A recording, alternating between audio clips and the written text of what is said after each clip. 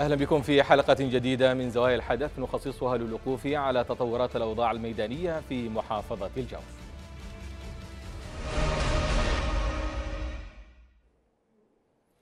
قالت مصادر عسكرية إن معارك عنيفة تدور حاليا بين قوات الجيش الوطني وميليشيا الحوثي شرق مدينة الحزم. مركز محافظة الجوف وأوضحت المصادر أن الميليشيا أحدثت اختراقا وتوغلت إلى مدينة الحزم عقب انسحابات نفذتها الألوية والوحدات التابعة للجيش. مضيفة أن المعارك ما تزال مستمرة على أطراف المدينة وأكدت أن محافظ الجوف اللواء من العكيمي يقود المعارك إلى جانب قادة عسكريين آخرين شرق مدينة الحزم ولفتت المصادر إلى أن القوات السعودية المتواجدة في المجمع الحكومي سحبت كافة معداتها وغادرت المدينة بشكل مفاجئ مساء أمس. نتوقف عند هذه التطورات لنناقشها في محورين. ما هي أسباب سقوط محافظة الجوف؟ وهل يأتي هذا السقوط ضمن مخطط يستهدف تقويض ما تبقى من سلطة الشرعية؟ نناقش هذا الموضوع بعد هذا التقرير مرة أخرى تعود ميليشيا الحوثي للسيطرة على مدينة الحزم مركز محافظة الجوف ليست المرة الأولى وربما لن تكون الأخيرة في الحرب ليست الهزيمة أو النصر إلا نتيجة لمعركة انتهت وأخرى ستبدأ لكن أن تأتي الهزيمة بطعنة من الظهر وغدر من الحليف وتسيب من القادة فذاك يعني أن للحرب أهدافا أخرى غير التي يقاتل من أجلها الجنود في الميدان.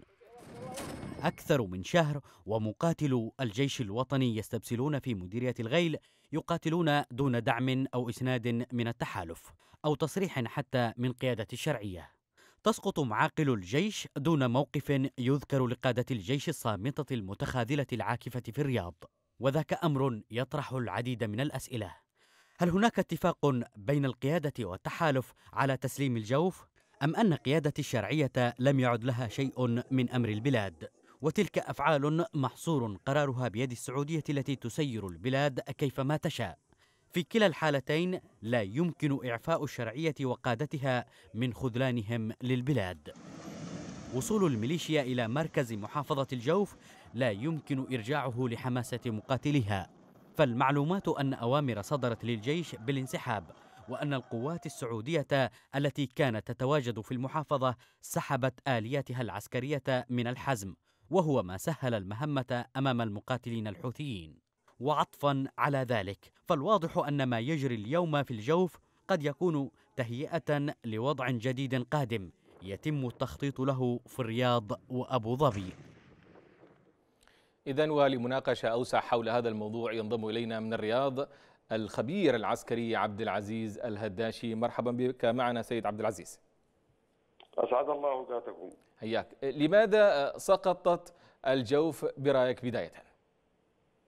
آه لو راجعت ارشيف ارشيف البرنامج هذا أو برنامج المساء اليمني أنا تحدثت قبل أقل من أسبوع آه بعد سقوطه من سقوط الجوف هو أمر متوقع وغير مستبعد. فمن لا يستطيع أن يدافع في رؤوس الجبال وفي القمم العالية لا يستطيع ان أن يدافع في الفيافي والصحاري المفتوحة. ولكن قبل هذا وذاك يجب أن أشيد وأوجه تحية الإجلال إلى المقاتلين في الجوف الذين قاتلوا وصمدوا بأسلحتهم الشخصية بدون دعم أو إسناد من الجيش الوطني. والجيش الوطني هذا عبارة عن فقاعة. أوجه تحية لقبائل الجوف ورجال الجوف ومن تبعهم من قبائل مارب الذين صمدوا لمدة 41 يوما. وخذلهم. لا أقول التحالف خذلتهم الشرعية. أما ما يسمى بالجيش الوطني فلا وجود له أصلا هم لا يشكلوا 10% من من المقاتلين أو من الكشوفات. نوجه لهم التحية. كان سقوط بالنسبة لمدينة الحزم وسقوط مدينة الحزم اليوم هو أتى نتيجة لمعارك 41 يوم. آه الغيل مساحتها 100 كيلو متر مربع 10 كيلو في 10 كيلو. استطاع رجال الجوف أن يصمدوا فيها أمام الطائرات المسيرة حق الحوثي وأمام بالستي الحوثي وأمام آه الصواريخ الجواله حق الحوثي استطاعوا أن يصمدوا ويسطروا ملحمة بطولية. هذا بالنسبة لرجال الجو. نعم لا سيد عبد العزيز أنت خليك معي. نعم. خليك معي. تفضل. بالنسبة للجيش الوطني ما في شيء حاجة اسمها الجيش الوطني. هناك مجموعة من المقاتلين تم إفراغهم من الروح المعنوية عندما تم تعيين الفاسدين عليهم عندما عينوا جيش كرتوني في الكشوفات حسب اعتراف وزير الدفاع نفسه. على أن هذا الجيش آه، لا يتواجد منه إلا 30% أقول لك يا أخي معظم المطاعم التي في الرياض المطاعم حق اليمنيين مسجلين كتائب في هذا الجيش. ويمكن يعطيك أسماء المطاعم. النص المقاتل أو أو أو 70% من المقاتلين مغتربين عاديين أو في بيوتهم. ما هذا ما أفقد الجيش الوطني المتبقين في الجبهات لا يستلمون الرواتب والحوافز ويستلمها المتغيبين. هذا أفقد الجيش الوطني الروح المعنوية. إضافة إلى تعيين الفاسدين. لكن سيد سيد عبد العزيز سيد عبد العزيز أنت أشرت أن هذا السقوط لمحافظة آه، الجوف بيد الميليشيا كان متوقع. وأيضا لا تلوم التحالف. لماذا اللوم فقط يقع على الشرعية وعلى آه، الجيش آه، الذي تشرف عليه الشرعية؟ نعم نعم نعم. لأن الحوثي لأن لأنه لأن هناك توازن في التسليح. لو تتذكر جبهتنا لو تتذكر جبهتنا مسقطوها الحوثيين بأسلحة الكلاشينكوف. وكان مع الشرعية السلاح والذخائر اخذها الحوثي جاهزة مجهزة باردة مبردة. آه، الحوثي اقتحم الجوف بالأفراد. الحرب كانت حرب أفراد وليست حرب آليات ودروع. ولا لا يوجد أفراد سواء قبائل الجوف. تركت جميع المديرية جميع الجبهات هدئت وأسكنت ولم تطلق حتى رصاصة واحدة في الجو وتركت وتركت الجوف وحيدة وحيدة الحرب لو لو الحوثي قاتل لماذا وحيدة؟ لماذا تركت الجوف وحيدة من الجميع؟ لماذا؟ لماذا؟ لأن لأنه لا توجد لا توجد وزارة دفاع، لا توجد غرفة عمليات، لا توجد رئاسة أركان، سوف تقول لي أوامر من التحالف، إذا كانت إذا كانوا هؤلاء ينفذون هذا هذا المخطط. إذا كانت الاوامر أتت من التحالف فهؤلاء مجرد مرتزقة. المفروض يقولون التحالف لا لكن أنا متأكد أنه ليس التحالف لأن الحرب كانت حرب أفراد حرب مشاة وليست حرب آليات أو حرب طائرات نعم تفضل بالبقاء معي سيد عبد العزيز الهداشي ينضم إلينا أيضا من مأرب الناشط السياسي آه، آه، عامر السعيدي. سيد عامر مرحبا بك معنا. حياك الله. ما الذي حدث في الجوف برأيك؟ الذي حدث هو نتيجة طبيعية ومتوقعة من بداية هذه المعركة التي بدأت قبل شهرين نتيجة طبيعية أولا لتوقف كل الجبهات وترك الجوف تواجه منفردة وتقوم معركة وحيدة ثانيا بأن الشرعية والحكومة وقادة الجيش تركوا الجوف من كل الجهات ومن كل النواحي. تركوا دعمها سياسيا واقتصاديا وعسكريا واعلاميا. لم تصعد الحكومة. لم تضغط على المبعوث الدولي. لم يتحرك تتحرك قوات الجيش في المناطق العسكرية. لم يخرج وزير الدفاع إلى الجوف. لم يخرج رئيس المشتركه إلى الجوف. كل ما فعلوه أنهم آه، أرسلوا كتائب معدودة إلى الجوف. وتركوا القبائل تواجه بشكل عشوائي غير منظم وتركوا الجوف وحيدة وكانت القوات العسكرية التي في الجوف قوات يعني محدودة. ليست الويه عسكريه ضاربه وليست كبيرة لكنها في الأخير واجهت واستبدلت حتى وهذه النتيجة تحملها القيادات العسكرية والسياسية ولا يتحملها المقاتلون والأبطال في الجوف هذه نتيجة طبيعية لما لمشاكل واخطاء وكوارث شرعية آه، التي تركت في جوف وحيده طوال هذه هذه الفترة. لكن آه، آه، برأيك هذا هذا الآن التطور الخطير في محافظة الجوف ألا ألا ألا أليس مؤشر على أنه سيلحقه تطور آخر إلى المحافظات الأخرى ومن خذل الجيش في الجوف اليوم؟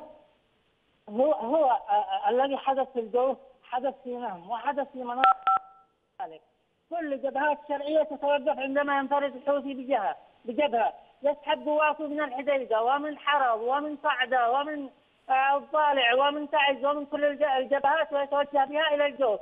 قبل ذلك إلى نهم ثم بعد أن يسقط هذه الجبهات نتباكى من خذل الجيش في نهم؟ ومن انخذل الجيش الآن في آه، الجوف؟ آه، في الجوف. نعم من من الذي خذل الجيش في نهم سابقا والآن تم خذلانه في الجوف. يا أخي يا أخي نحن من خذلنا الجوف. الشرع وأنا الشرعية ال- ال- ال- الإعلام التحالف السعودية والإمارات عبد ربه منصور هادي وقيادة الحكومة ونائب الرئيس وقيادة الجيش كل هؤلاء هم الذين خذلوا مالك خذلوا الجوف. حتى بعد الجوف توقفت حتى عمليات طيران بعد استاد طائرة السعوديه خفت عمليات طيران بنسبة 70% آه، توقف الدعم توقف حتى حتى الصرف اليومي والانتاج الذي كان آه، يسلم للعس- للعساكر في في الجوف تم ايقافه نعم. تفضل بالبقاء معي آه، سيد عامر. نعود إلى ضيفنا من الرياض عبد العزيز الهداشي الخبير العسكري. سيد عبد العزيز لمصلحة آه، من الآن سقوط محافظة الجوف بيد ميليشيات الحوثي وما هو القادم آه، طبعا سقوط سقوط محافظة الجوف والصراع الحوثي يعني القادم هو اسوء إذا إذا لم يت- يتم تدارك الوضع وأقول يت- يتم تدارك الوضع من قبل القياده العسكرية والسياسية في مارب والمحلية في مارب بغض النظر عن التحالف وبغض النظر عن الشرعية. آه، الشرعية الرياض يعتبرهم عدم غير موجودين. آه، يجب إعادة تشكيل تشكيل ال- ال- ال- ال- ال- ال- الجيش بسرعة في مارب وإعادة توزيعه وإن كان من من الذي سيشكل الجيش وي- ويعيد توزيعه؟ أليس الشرعية هي في الأخير بالنهاية؟ آه، لا، رئاسة الأركان ووزارة الدفاع. هذول المتواجدين على الأرض وإذا لم يكن وزير الدفاع ورئيس الأركان متواجدين في ي- يعني يستطيع سلطان العرادة محافظ محافظة مارب أن يتولى الأمر بنفسه كقيادة وكسلطة لمارب. لا ينتظر يعني من دون الرجوع تقصد تقصد من دون الرجوع إلى الشرعية في الرياض؟ من دون الرجوع لمن يرجع. هل يرجع إلى رئيس يعني آه، لا يستيقظ في اليوم في ال 24 ساعة إلا ساعة ليأكل ثم ينام؟ أم أم يعود إلى نائب رئيس جمهورية؟ كل كل همه كيف يستحوذ على مزيد من الاموال العلم والإحاطة إن علي محسن الأحمر الذي هو نائب رئيس الجمهورية من يوم تولى لم نحقق نصرا واحدا ولم ولم نحقق نحرر سنتيمتر واحد. وكان هو أحد البلوى أو البلاوي التي أدت إلى أفراغ الجيش الوطني من محتواه بتعييناته المناطقية وبتعييناته لقيادة حوثية. عندما استجلب المداني واستجلب الولي واستجلب القيادة الحوثية الهاشمي هذه إلى مارب يعينهم على من قاتل. آه، يعين سلطان العراده الآن يشكل مجلس عسكري من نفسه وبالتعاون مع محافظ شبوة ومحافظ الجو.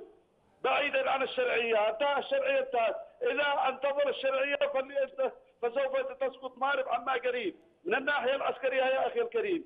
لكن سيد عبد العزيز هناك من من من من يعني مراقبون يعتقدون أن آه، الهدف من سقوط محافظة الجوف هو آه، آه، المقترح الذي ذكرته أن يقوم العرادة والعكيمي بمبادرة عسكرية وترتيب الوضع العسكري في المحافظتين. ماذا ما رأيك حول هذا الموضوع؟ يعني يراد لهم أن يسقطوا في هذا الترتيب. هذا ما يجب أن يقوموا به، اما ينتظروا الشرعية فليس هناك داعي لانتظار الشرعية، دعني أتكلم بناحية مهنية شوية، ناحية عسكرية. الآن بعد سقوط سقوط الجوف نعم. للعلم للعلم والإحاطة. تحرير الحزم ليس بالأمر الصعب وتحرير ما سقط في- في الجو ليس بالأمر الصعب، على عكس جبهة نهب من الصعب استعادة ما تم ما, ما اخذه الحوثي، لكن بالنسبة لل- للجوف فحروب الصحراء يكثر فيها البر والكر وبالإمكان استعادتها، المناطق المفتوحة لها بعض بعض المميزات، لكن الآن لنفترض أن الحوثي أخذ الجوف واستقر بها، هنا تصبح مارب بين فكي كماشة من الجنوب من صرواح ومن القلب أو من ال- من الغرب مباشرة من محور النهم مدغل الضيق مارب ومن الشمال ال- من الشمال الغربي من اتجاه الحزم. هنا تصبح مارب يعني بين فكي كماشة. واحد لمواجهه الإجراء. من يتخذ المواجهة هذا شيء آخر. واحد يجب إعادة تنظيم وتنظيم الصفوف أو تشكيل القوات إما بشكل دفاعي بحيث يتم اتخاذ الإجراءات الدفاعية المتمثلة بحفر الخ- الخنادق واستخدام الألغام و- وحفر الأنفاق حتى مخازن السلاح يجب توزيعها على في مجموعات صغيرة حتى لا يتم استهدافها بالطيران المسير أو أو بالصواريخ. اثنين هذا لفتره لفترة بسيطة الإجراء الدفاعي. اثنين ذكرت أنا سابقا أن من يهاجم ويصر على الهجوم فسوف ينتصر. يجب محاولة استعادة ما تم فقدانه في الجو. ما تم فقدانه في الجو هو مديريه مديرية المتون إضافة إلى مديرية الحج إضافة إلى مديرية الغيل بقية الجو الجو في يد الحوثي من اول يعني ما فيش ما فيش حاجة جديدة نعم يجب استعادة هذا المحور وهذا بالامكان هنا المساحة كلها لا تتعدى 500 كيلو متر مربع. نعم. يجب استعادة هذه المنطقة بس بخطط هجومية منسقة. نعم. وليس بشكل قبلي تفضل نعم. بالبقاء نعم نعم. وضحت فكرتك سيد عبد العزيز. تفضل بالبقاء معي. نعود إلى السيد عامر السعدي الناشط السياسي. سيد عامر تحدث الهداشي أن هناك يجب أن ترتب الخطوط العسكرية لاستعادة محافظة الجوف ونحن الآن يجب أن نكون في وضع دفاعي. هل برأيك يمكن أن ينتهي تقدم الميليشيا في الجوف وإيقافه أم سيمتد إلى محافظة مارب؟ سيمتد وسينتهي. في حالة واحدة سينتهي. إذا تحركت الجبهات كل الجبهات دفعة واحدة وفي توقيت واحد. تحركت للهجوم وليس للدفاع. فسوف ينكشف الحوثي في كل الجبهات وسوف تتحرر محافظات أخرى. ونصل إلى صنعاء ونستعيد اليمن.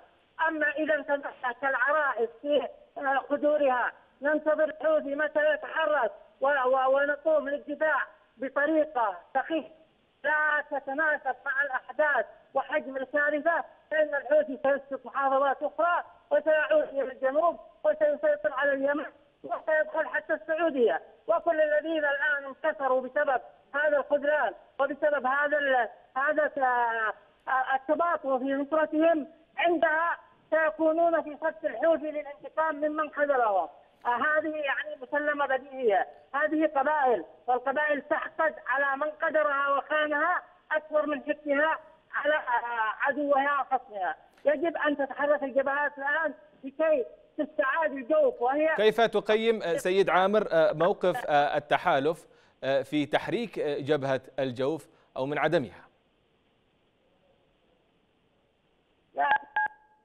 إذا أنا إذا كنا سنعول على التحالف في تحرير البلاد فلن تتحرر البلاد التحالف بدل من تحرير من إقامة وتثبيت دعائم الدولة في الجنوب راح وخلق له عشرات الميليشيات وعشرات الكيانات وخلق له لكن سيد عامر هناك من يقول أن الجوف لولا طيران التحالف ولما لما سقطت يعني ظلت صامده نهم وأيضا الجوف طيلة الفترة الماضية. كيف الآن يتم التخلي عن التحالف وطيرانه؟ هل يوجد مع الحوثي طيران؟ نحن لم نعتمد على أنفسنا ونقاتل بسلاح الكلاشنكوف ونوفر للمقاتلين الذخيرة والمؤنة والمؤن نعم. ونعيل اسرهم فإننا لن ننتصر ابدا إذا كنا نعول على غيرنا وعلى الخارج. نعم نعم. السعودية والتحالف والإمارات وكلهم إذا قاموا بعمليات فهي عمليات وضحت فكرتك سيد عامر السعدي نعم نعم وضحت فكرتك سيد عامر السعدي كنت معنا من مارب شكرا جزيلا لك. نعود إلى ضيفنا الخبير العسكري عبد العزيز الهداشي. تحدثت سيد عبد العزيز عن إعادة الصفوف والتموضع لتحرير محافظة الجوف وأنت ذكرت أننا في الآن في مرحلة دفاع عن هذه المناطق. كيف تفسر موقف التحالف من الأحداث هذه في الجوف؟ شوف يا أخي الكريم بمراجعه لمشاركة الطيران منذ الحرب العالمية الثانية حتى الآن الطيران لا يحسم معركة. للأمانة ان الطيران أيضا الطيران العسكري السعودي أو السعودي سيبك من الإماراتي، الطيران عاده عادة يقصد أهداف ثابتة وليس وليس أهداف ثابتة كبيرة نسبيا لا تنسى أنه أثناء معارك الجو سقطت الطائرة السعودية. وعشرات أو مئات الغارات شنتها شنها الطيران ضد الحوثيين في الفترة هذه، هذا لا يمكن إنكاره، الحوثي يقاتل بأسلحة المشاه بأسلحة خفيفة ومتوسطة وهذا متوفره لدينا. آه، كان يتفوق علينا بالصواريخ الحرارية. توفرت هذه الصواريخ الحرارية لدينا. المشكلة لدينا آه، شيئين. الأفراد والروح القتالية أو العقيدة القتالية أو الروح المعنوية. آه، لمواجهه هذا كله واحد إقالة الفاسدين ومحاسبتهم. إقالة ومحاسبة من تسببوا في من تقصد من تقصد بإقالة الفاسدين ومحاسبتهم؟ هل في آه، آه، الشق العسكري في الدولة أم في الشق السياسي الذي يقودون المشهد السياسي؟ لا لا لا, لا. يتم محاكمتهم من أين التخاذل في الشق العسكري. لحظة دعني أكمل الفكرة. يجب إقالتهم؟ مش معقول هزيمة نهم يعني آه، بالنسبة للجوف أنا لا أعتبرها هزيمة. أعتبرها مواجهه عسكرية خسرناها بشرف. لكن فرضتنا انسحاب بدون إطلاق رصاصة واحدة ولو وجد أشخاص عشرة أشخاص بمسدسات عادية بعشر طلقات ما دخلها الحوثي يعني نحن نتكلم بمنطق عسكري. يجب محاسبة القادة العسكريين آه نعم. الذين أعطوا الأوامر بالانسحاب. الشيء نعم. الشيء الآخر يجب أحد أسباب آه ذهاب الروح القتالية أو انخفاض الروح المعنوية أو آه القتالية هو الكشوفات الوهمية تصور أن المقاتل أن 10% من أفراد اللواء هم من في الجبهة و90% متغيبين لا يحضرون. شكرا. نعم أن نعم أن ال 10% هذول لا يستلمون رواتبهم وحوافزهم بينما ال 90% المتغيبين شكرا لك. نعم. الوهميين. نعم. لحظة خليني أكمل. هؤلاء يستلموا رواتبهم. أنا أرجو أرجو منكم البحث في إرشيف هذا البرنامج في جميع مداخلاتي معكم نبهنا وحذرنا من خطورة هذه الأشياء. نعم. نعم, نعم. شكرا جزيلا لك عبد العزيز الهداشي الخبير العسكري. كنت معنا من الرياض.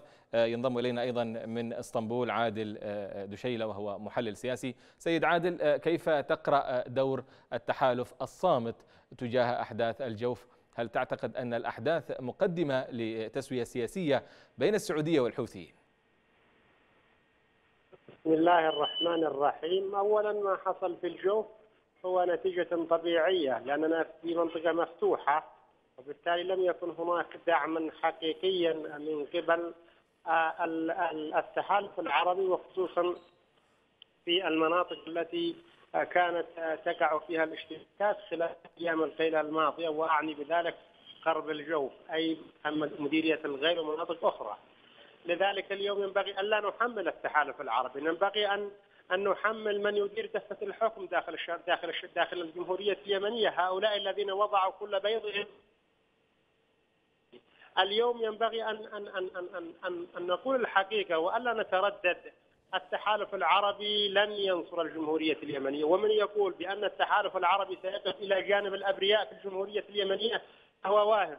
لن تسمح السعودية بأن يكون هناك نظام جمهوري في حدودها الجنوبية. هذا واضح منذ اليوم الأول. وما حصل في الجوف اليوم يبدو بأنه يعني مقدمة لتسوية سياسية وقد ربما يعني فشل السعوديون والإماراتيون في تنفيذ مخططهم في في أغسطس الماضي في العام الماضي أي في منطقة شبوة الآن يعيدوا تكرار السيناريو في الجوف. يريدوا الآن إسقاط الجوف. وقد سقطت اليوم عاصمة الجوف بيد الحركة الحوثية. وغدا يريدوا تطويق مأرب. ومن ثم يتم التوصل إلى حل سياسي تحت يعني الامم رعاية الأمم المتحدة بحيث يبقى المجلس الانتقالي طرفا يمثل المناطق الجنوبية وتبقى الحركة الحوثية ممثل شرعي للمناطق الجنوبية ويتدخل التحالف العربي ومعه الدولة الشرعية الضعيفة وسيبقى الحلقة الأضعف في أي محاورات سياسية وقد ربما يتم تقسيم البلاد لا سمح الله. نعم حتى الآن لم يصدر موقف واحد من قبل وزارة الدفاع ورئاسة الأركان والحكومة. هل هناك آه، آه، آه، ضغوط ما على الشرعية يعني لتمرير هذه التطورات العسكرية الآن؟ أخي الكريم عندما كان الوطنيون كانت المبادرة بيدهم رأينا في العام 2016 كيف تم تحرير الجو على يد أولئك الأبطال لأنه كان لا زال القرار نوعا ما بيد بيد أبناء الوطن. تم تحرير الجوف وتم تحرير ما تبقى من بعض المناطق في مأرب وتم أيضا تم تحرير مناطق أخرى. ولكن عندما سلمت الشرعية اليمنية كل قرارها بيد التحالف العربي أصبحت رهينه الآن ولا تستطيع أن تتحرك. الآن لا ينبغي الا نعول على هذه الشرعية. هذه الشرعية سقطت اخلاقيا قبل أن تسقط عسكريا. سقطت اخلاقيا وسياسيا. وإن تبقى لها يعني قانونيا أنها الشرعيه التي تمثل أبناء الشعب ولكنها اخلاقيا سقطت. اذا عندما نقول بأن هناك ضغوطات على الشرعية اليمنية هذا نوع من الضحك على الأبرياء. اذا اذا نعول على من؟ الآن الش- الشرعية آه، حسب كلامك سيد عادل سقطت. والتحالف الآن ليس لديه نية لانهاء انقلاب الحوثي. على من نعول الآن؟ نعول على أبناء الوطن. نعول على تشكيل تيار وطني عريض من داخل الأراضي اليمنية وأن لا يخضع لإملاءات الحكومة الشرعية والتحالف العربي وأن يتحرك في إطار جبهة واحدة موحدة تحت قيادات ميدانية ومن ثم تشكيل مجلس عسكري لقيادة دفة الحكم في هذه المناطق ومواجهة الميليشيا الحوثية وإلا فالدولة وإلا ما تبقى من الأراضي فسيسقط يد الحركة الحوثية، المخطط واضح والأمور واضحة ولا تحتاج منا إلى تصريحات أو تحتاج منا إلى تحليل أو تفسير من هنا أو هناك. نعم نعم سيد عادل دشيلة المحلل السياسي كنت معنا من إسطنبول. شكرا جزيلا لك. والشكر أيضا موصول آه، آه، لعبد العزيز الهداشي الخبير العسكري كان معنا من الرياض. والسيد أيضا عامر السعدي كان معنا من مأرب وهو ناشط سياسي. والشكر موصول لكم والتحية وإلى اللقاء.